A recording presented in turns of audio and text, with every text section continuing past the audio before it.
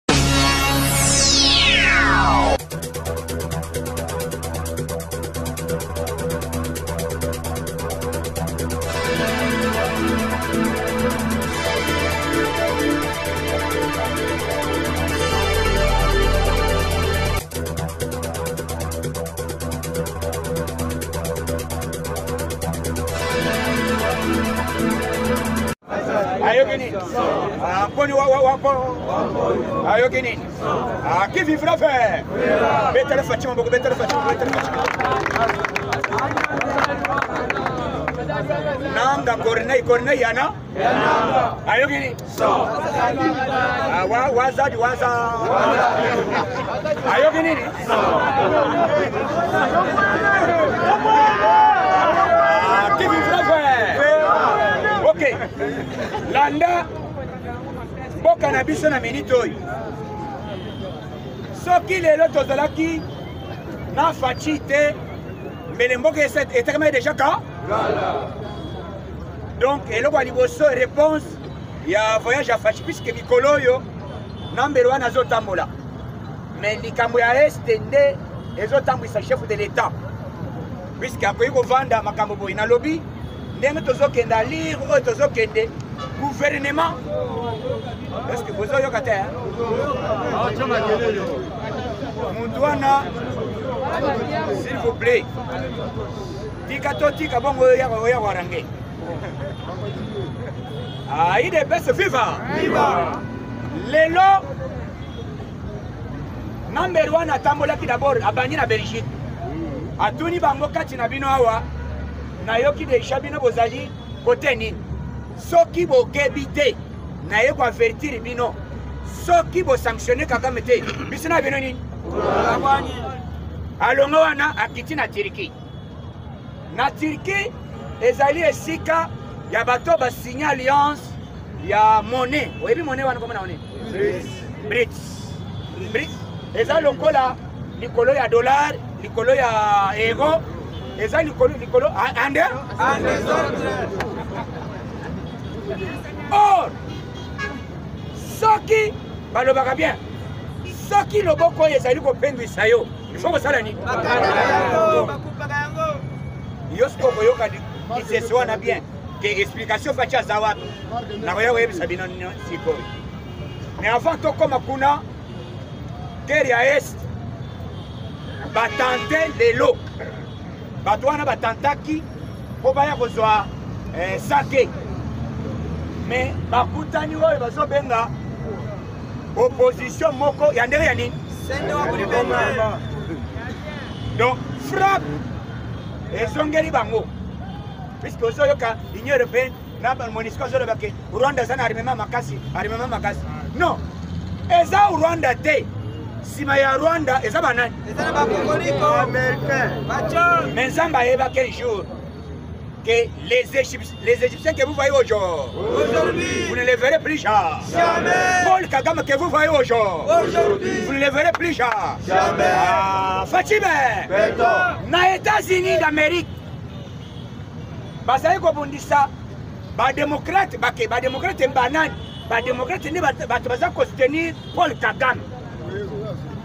me nzambe ayei ayoki losambo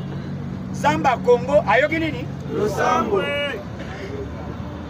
basali tu bakotisi rekete na cour supreme ya états-unis d'amérique baradie nkombo ya donald trump mais lelo cour, cons, euh, cour suprême ya états-unis d'amérique elobi trop trop azo trop asali nini Ah, bino boyebi trop betana maboko ko oyebi trop trop aza mwana nani tosalaka élection esalama na mboko nse moto ayebisaka corneille nanga ya nani alobi nanga alobi o date eza te alobi nanga na ye na base base eyaka wapi alobi te babandi kosala bapompage soki kaka otangi élection te okoyoka nini mbala moko biblia na mboka alobi te élection le 18 nani nani nikalei balobi toye soki obiblia élection te okoyoka nini wana kabila na ne na kingakati trop alobi ngai nayebi makambo ya banini te ngai mosala ngai eza matuza na ye or Hey, diplomatie ozo yo moko oyo faci aza ya nzambe aponama deja to faci na couloir bayokaka démocrate oyebi bato bakoseli biso mingi eza badémocrate américaine mais bamiyebi yani ah, eza eza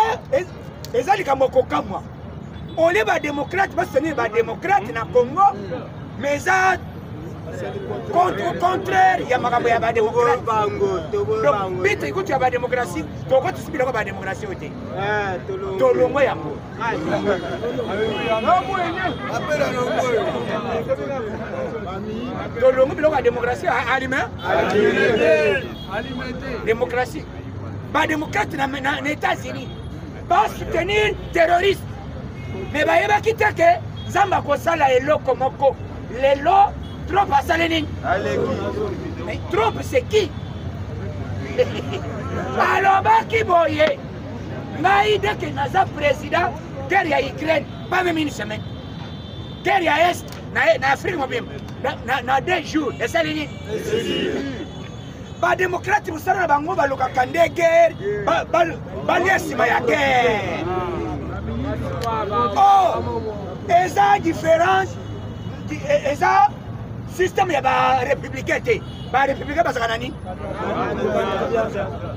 lelo na poko awa bapiblie na bachaîne américaine trump mana mateta zongo e eh, na états-unis fete ya nini mpo na nini babundisaka trump trop baboyaka coronavirus wapi coronavirus nalobi coronavirus eza wapi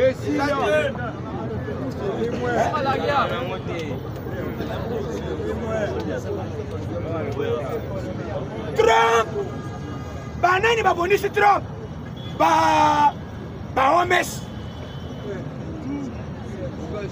bato nyonso wana bamoni ke to ya mbongo ezangi bakree bor badibu bamonisa trump mpo na likambo ya bagege boyebi bagege ah, boyebi bagege gege boyebi te gege eza motu oyo balingaka ba yoka na europe meme babisika nyonso wana landa tika naloba mpo bazotuna na document mpo remplir balobi non poste non prénom ti basilisi balobi genre féminin masculin autre oyoka bien autre wana ya nani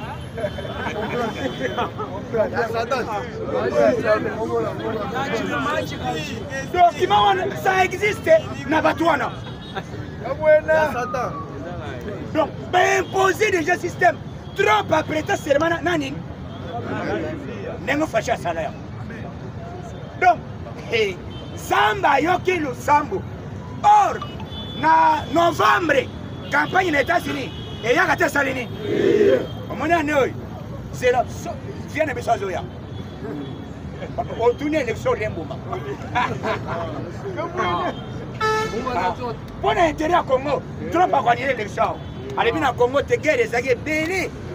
so na ye moto asiotoli likambo élection na congo oda ye comme trump azongi badémocrate bakomi oto négocier biso na bino oh. esalami lelo batrapaka bamona pe peref ndenge moko bademokrate bamoni ke trop aza nalobi très populaire ye na mérite bana babunisaka ye likambo ya basi mibali o oh, mibali na mibali nde makambo ya joe biden epai na ye alingaka te alobi biloko wana ekoleka na amerike te eza abomination amerike eza grande puissance il faut ezala bato oyo alobi dabord ngai nabotama ndenge nini mpo nakende kobala mobali na mobali obenga mobali na mandefu kete sheri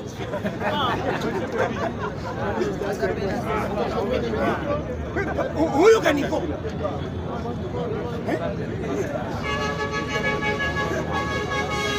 sisteme wana eyaki mpo na kodomine nde bor poutine kuna kutu kotuna te eglise nyonso nayebisi bino na russie élection kangila aza nani te nalobi élection na russie élection ezali mais kangila aza nani kangila ini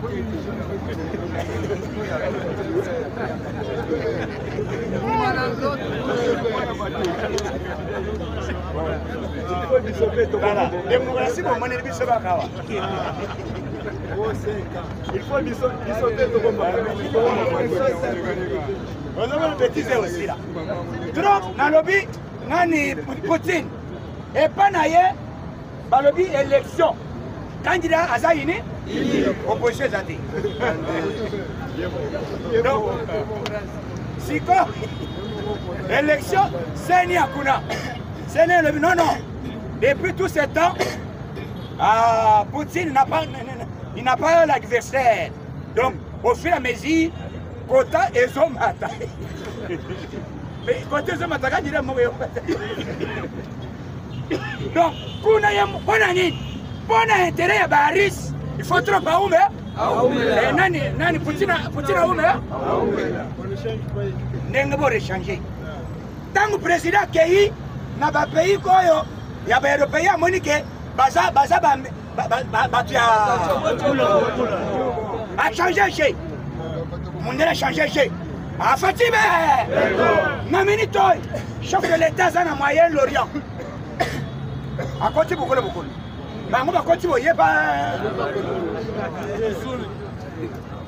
lelo faci aza na qatar oyebi na qatar mboko omoni baarabe batonga ya oyebi qatar bapétrolier bato ya nini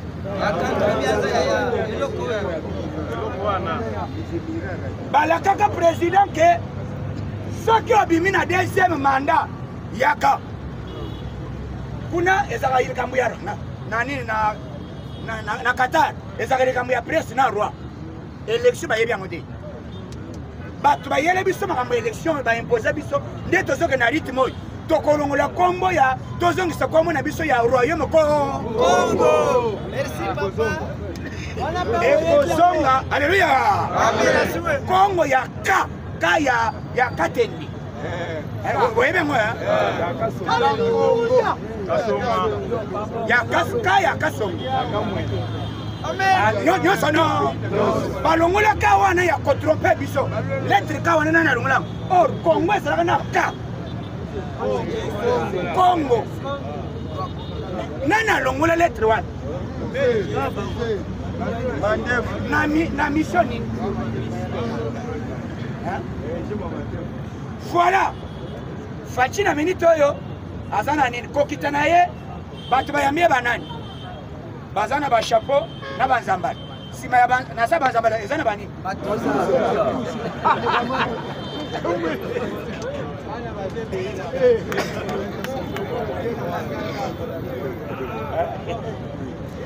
arme ezali kokosa te wa losambo eza te osali erreur olembo maande namoni batelemi barobe ebele na bachapeau soki andi nsima ya machapeau wana biloko evandi basali op kuna bazobeta na boro na bango bayambi président avec honneur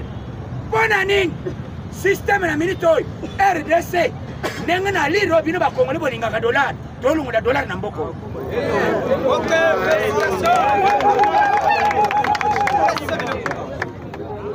tokomi kaka na mone wana yo yaka sikoyo ozwa dollar ete pesa nga dollar eh, dollar ezomata mpo na nini congolais nyonso alingi kaka dollar mende na balibanais babakelikebokanago olio ozofwang na yo ozozwa franc na valeur te esaka nalinga dollar eh. dollar eza mbongo na bino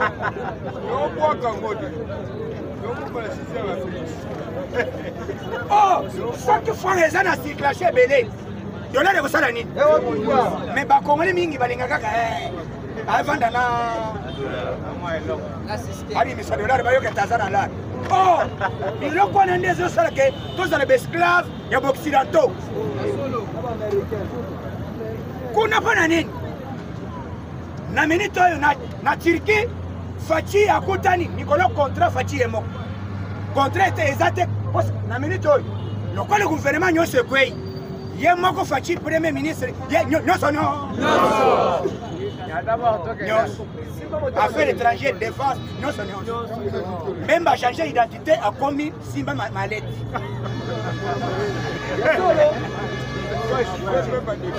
balobi oh, oza ministre de face keba na yo nazo keba ya nga nabatela chef yolo meme asimbi malete satellitaire faci akeba alobi te keba President za zo zo zo zo oyebi nga bien na jamais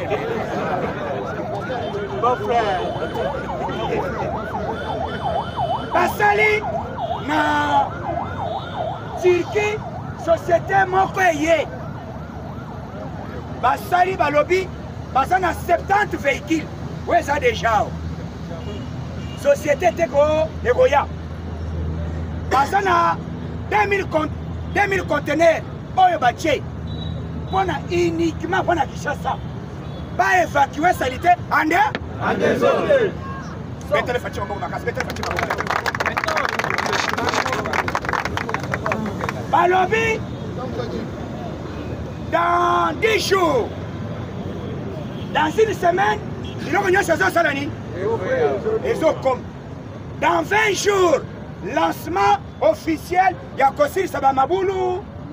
kosilisa nyonso nyonso omoni ntango na bandaki koloba likambo ya chantini ngobila awa bato babanda kocomprendre te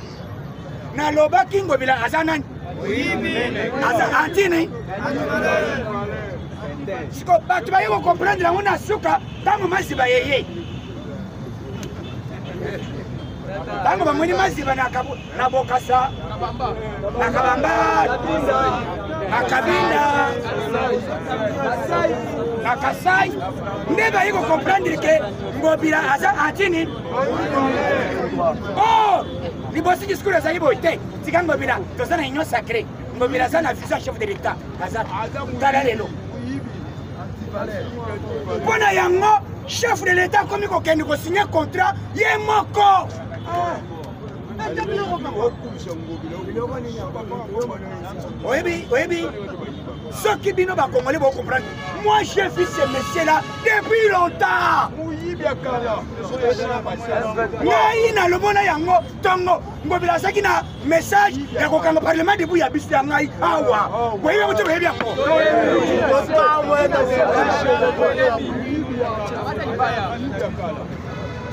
aye te atya clotire awa komba nini namoni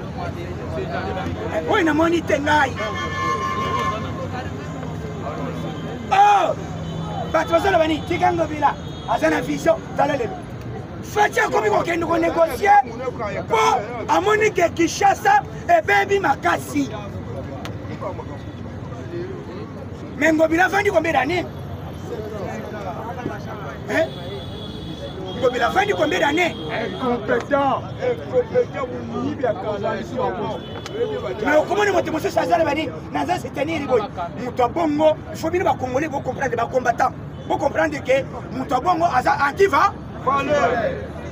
namona yango ntongo mobila ya akanga akomi kobinisa mabi na apekisaka ete bato basangana te eye moto ya liboso akosangana liboso ya ah, concert na banani bazobina mais ayebaki te ke un jour comme makambo oyo puiske bato na ye trop personne bakangami mpo na likambo ya salite oyo oyo oh, bazosala nzela na minute nzela esi nzela omoni motema mabe ole ya kotya goudron ebele ole ya kozala eh, eh, cette fois-ci président moto azotya epesa na goudron boye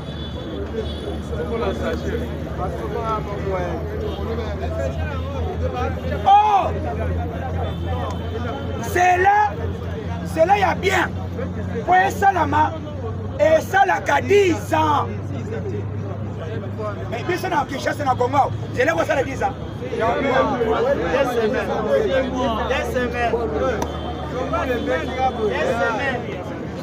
mais lelo tala lelo situation ngobila ayaki eza lokola chauve souris aya comprendre biso na kati abandi kolia biso alobi yo yaka moi personnellement moi je vous dis on m'a proposé écoutez aproposa ngai mbongo naboye koloba mpo na nkombo na ye na soutenir boyebi yango te boyebi yango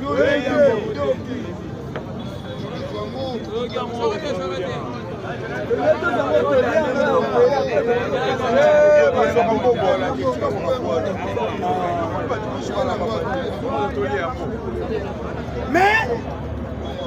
biso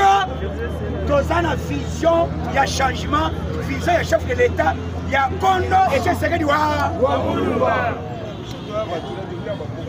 lelo chef de l'état signe contrat balobi dans 20 jours lancement yango baza koenvisage na congo soit tokozala na nzela mibale ndenge toza boye batirke baza koenvisage kaka na nzela ndenge eza boye mosusu likolo na yango eh, eh, mosusu na se mosusu likolo mpo ambutage esila mosusu kote ya fleve autoroute eh, fleve mosusu bazosala aéroport baye balobi toza près ya koconstruire mboka na biso donc na minute oyo chef de l'état akomi ye moko diplomate ye moko nyonso no nyonso akiti mpo na kinshasa puiske kinshasa eza nini miroir ya nini soki ozoboma kinshasa est ce que olingi chef de l'état mais nayoki bato bazoloba nini argentine ah, asali nzela argentine eh, asali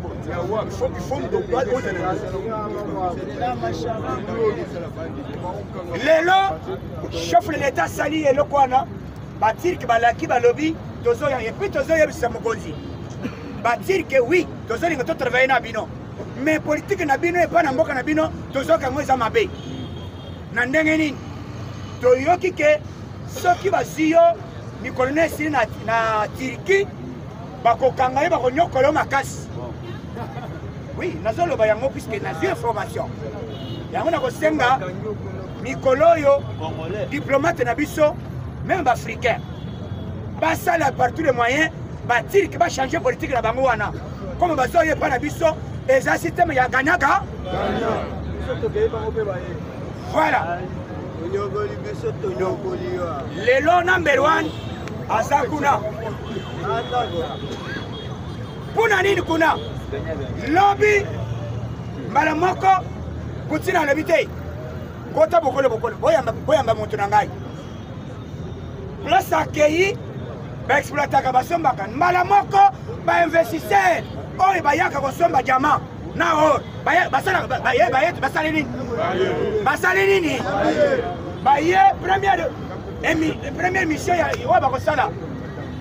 bango balobi pesa biso kaka miba pesa biso miba omona ndenge jamel ekomonana tokosala mosala mpe eza alebi nono on est là eza systeme kanyaga balebi biso tokoya koyiba te biso tozoya na systeme ya ganyaganya mbala moko erope ekomi badepute nyonso bazali kuna basali motion contre loi ya kostenir paul kagame ah, balobi boye bapropose bor wana ici semaine prochaine bazokotisa ngo na assemblée na union union européenne baadopte yango balobi soki baadopte yango te na minute oyo na europe kere ekobeta ande il faut bacondamne pole nani il faut bacondamne nani voilà donc lelo basali bagare ba militaire baye wazalendo abeteli ah, nani wazalendo maboko makasi beteli wazalendo maboko na ye na fardc fardc eloko ya nini badécouvrir encore lobi qu'est-ce qui se passe bakuti na force armée congolaise lisusu 4 personnes 4 officiers oyo bazalaka na relation na banani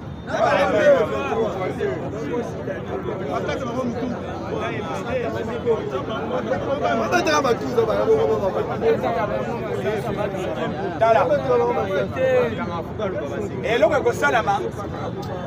eloko ekosalama ezali ke ilfo bato wana bazala yango président na alire tozokende il faut kovote loi ya soki bakangi moto asali o trahison baboma ye sur place alime donc lo wana bor wana ezonga moratoire wana ezonga makambo ya droit de l'homme droit de l'homme kende na ukraine kende na israel eske yoka bato ya oni baye na israel baye na dokima balobi o oh, tala ndenge bobumi ebele bapesi premier ministre premier ministre asali nini banyama na bato soki ezalaki congo epasoli dokima wana Congo embargo. Kwa embargo ne nani? Israel. Basala nini? Bopesa embargo na Israel. Israel alobi oyo sauf yotoli d'abord ye nde moto akolonise meme baaméricain bajuif balobi tala makambo ya droit de l'homme eza te tobare bango epuis bapoudrier biso bazoyela biso nini o oh, tala baza baminoritaire ifo basala boye ah, lobi batuti oyo bafandaka awa basali déclaration balobi faci kolanda kagame te biso batuti toza nsima na yo bato oyo baza nsima ya kagame eza ba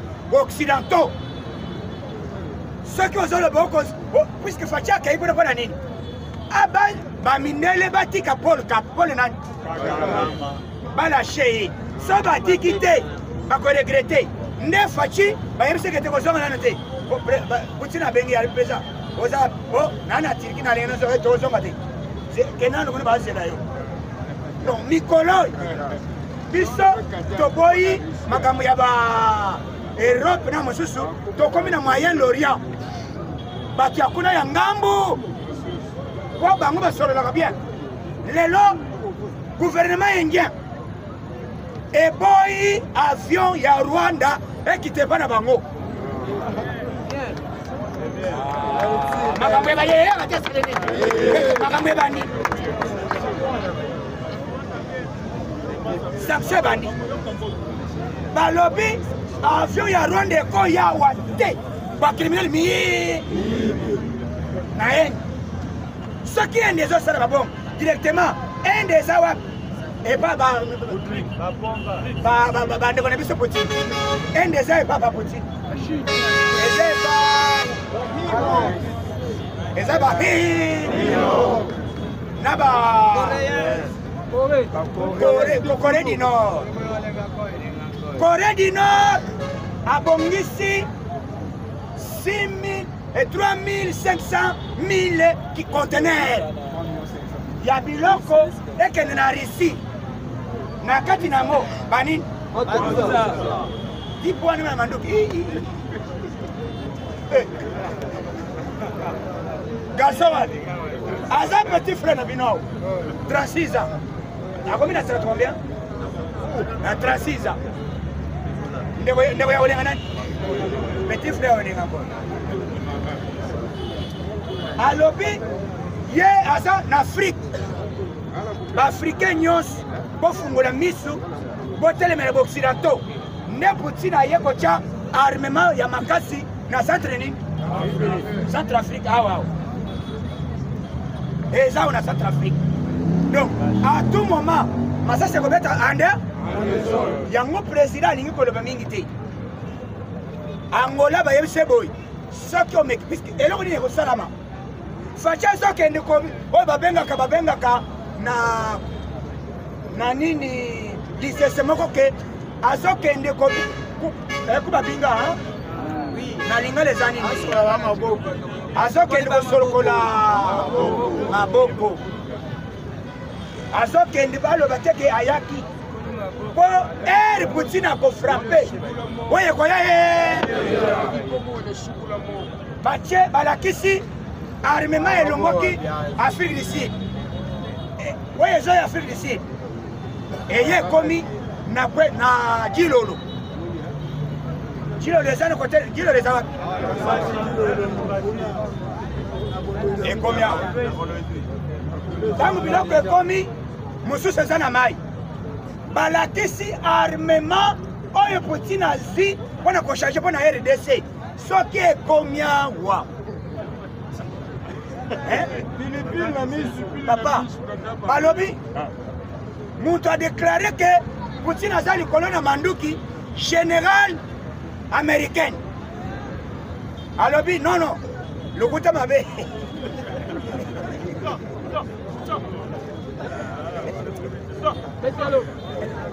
alobi lokuta mabe te biso tosala manduki me toza na se toza na se ya nani ya poutine aza likolo na niveau ya armement poutine asali puiske poutine azwi minere na ye or na ye azoteka nyama poutine aprepare bor wana deja kala Na tango a préparer déjà même crise ayebaki déjà que tango ako frapper Ukraine bako bako sanctionner ye mais ba banque ya Russie bongo esali nini? Mbongo elingi asila Chine aye ba créer monnaie dollar na Russie elekaka te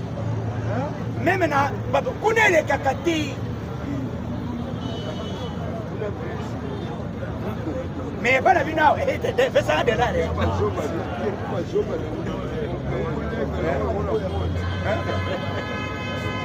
Na Russie dollar elekaka te. Bayebi mone kaka mone na bango. Eloko ezo baye ko poser biso. yango na koyebisa président banque centrale yoka banque centrale il faut ezonga ya biso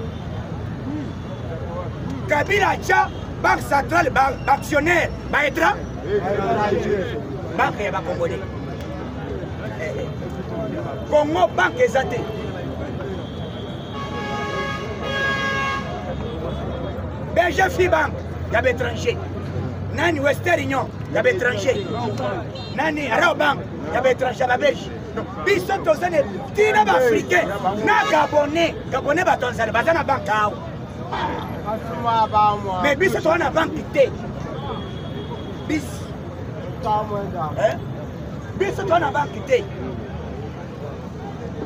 eloko wana moto asala yango yango na kosenga chef de l'etat likambo ya petit commerce ezongela banani moto azotunaka bilalebi te ya rais ya rais moto wana aza frendo frendo alire tozokende frappe fe frappe na kigali mpe epai ipolitika nango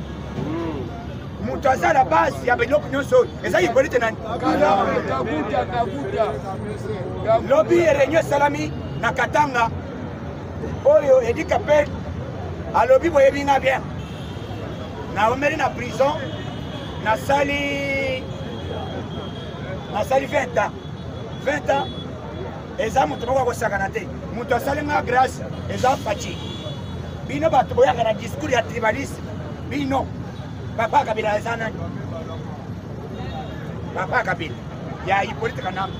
aza te lakisa biso village biso nde bakatange tofabrika betra oyo nakoyoka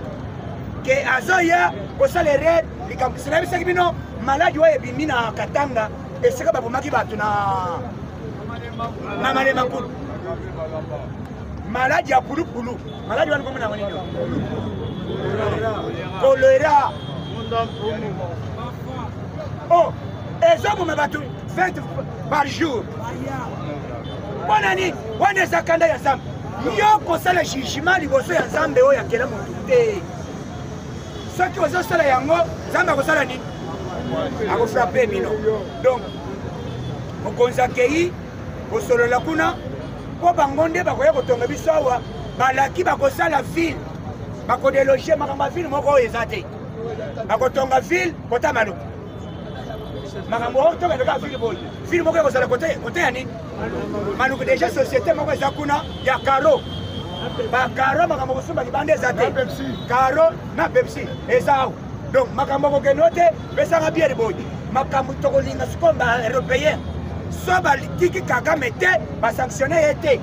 tokoyebisa bacongolais nyonso babanda kokota na bakompagnie ya baeuropéen te eza boye te avion ya baeuropéen tokoboya yango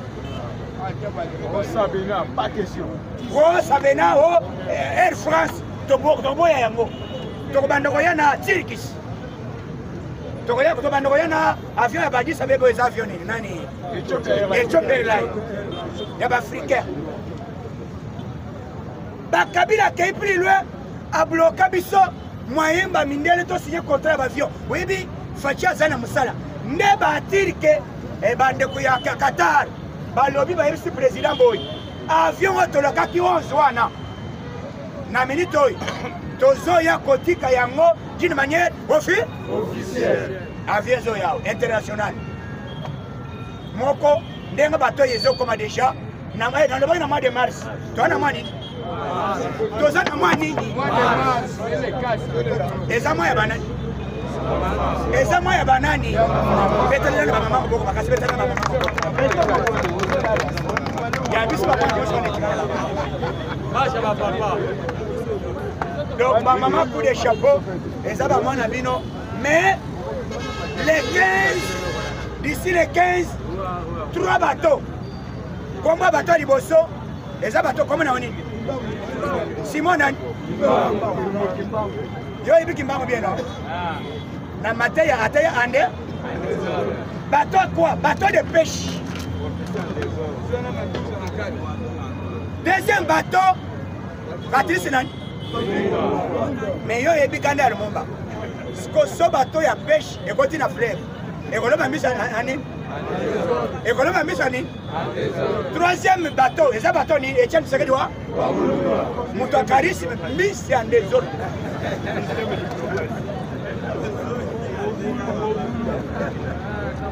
miss ya nde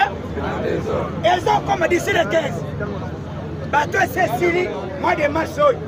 bateau ezokoma fleuve ndenge toza nango fleuve oyo mbisi e, e, ekufaka yango moko enunanaka ekufaka moto akozwa place wana aza te mais sikoyo pour la toute première fois mois de mars oyo bateau de pêche ezosala nini tomona yo moto ete nalingata mosolo makambo to mosolo toboyi oza na congélateur zwa mbisi na yo mboto zwa malanga nani kamanyoka nyonso nyo obongo sikoyo eza na mbisi bakobimisa kuna okolapa bagayar donc ezoya bientôt na mwa oyo oh, eza te ko lisese oyo oh, tozoloba mois de mars bato de pêche ezokoma faci alobi na ye makambo akolaka te eza makambo ya nsima matema tosala nini epuis alobi na korepete erreur ya kala te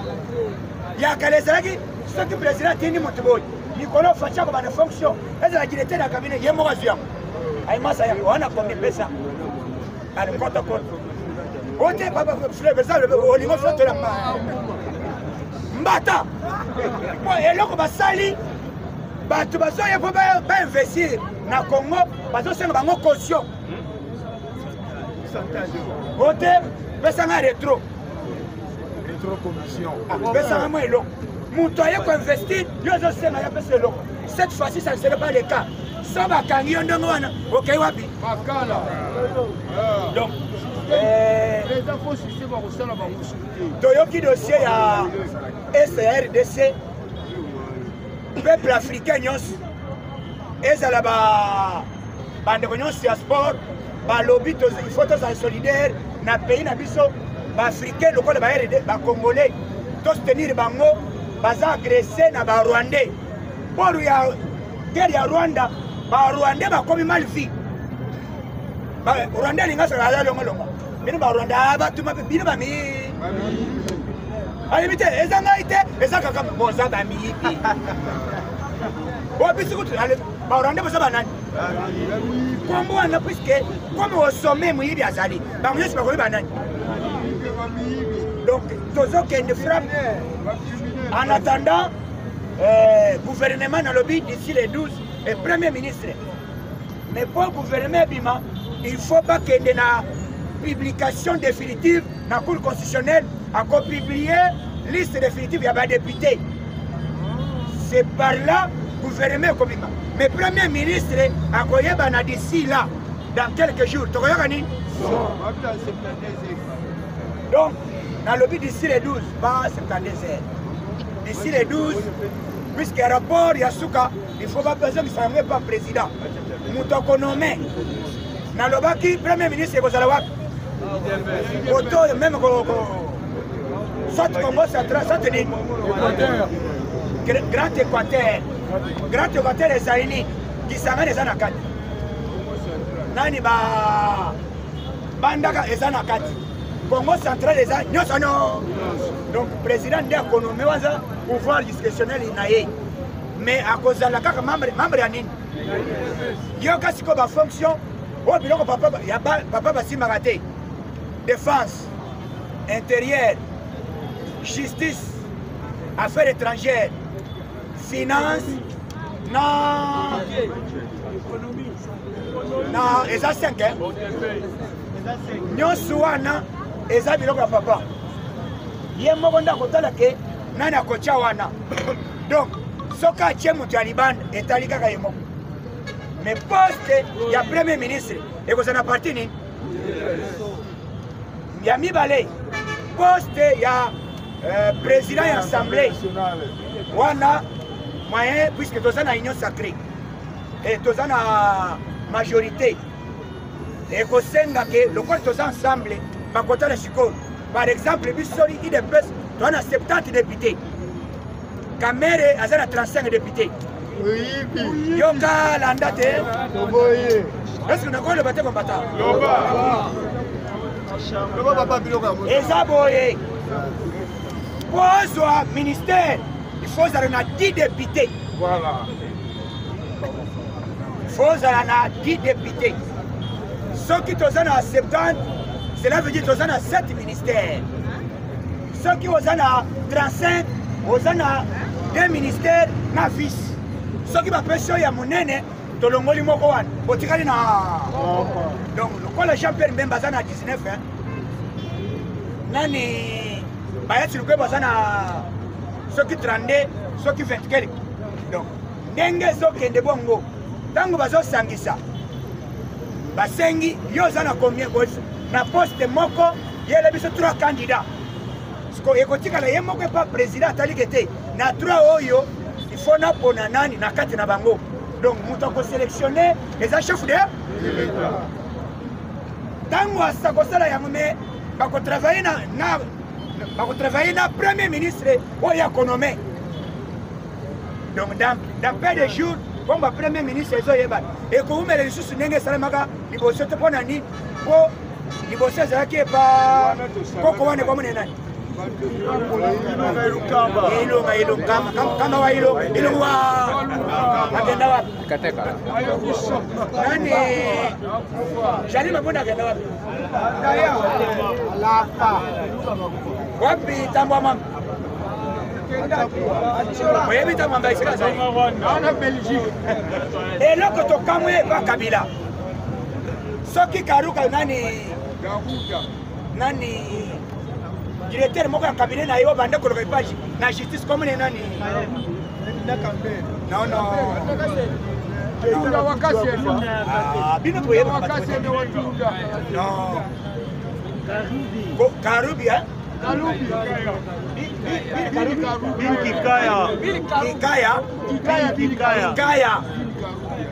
mais amonani na namibie alimwaki akekutana na namibie bamonani na kabila or justice emoni eluki awa akimi cela veut dire kabila aza criminel criminel donc mikolo oyo biso tozosenga losambo nzambe abatela faci abatela kongo na biso biso nyonso ah. tozala meme morale sambelaka mingi na faci beton puisque seule personne oyo akodelivre mboka oyo eza komone nani donc ministre ntango okoya gouverneur ya mbala oyo ntango ozoya yebe soki osala erreur tosali marche olongwe alime tokono bako totinda fire